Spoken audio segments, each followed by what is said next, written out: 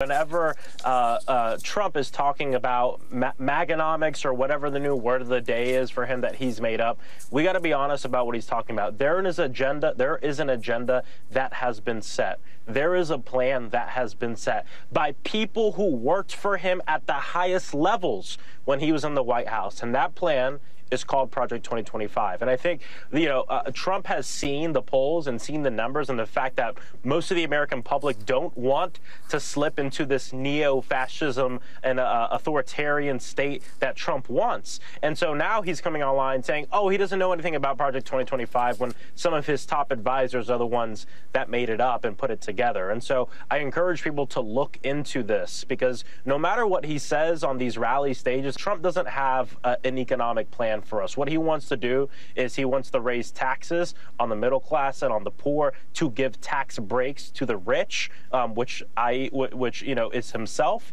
He wants to roll back a lot of the amazing laws and bills that the Democratic Congress passed and that Joe Biden signed into law, and he wants to bring us backwards. And that's what everybody needs to know as we go into this election.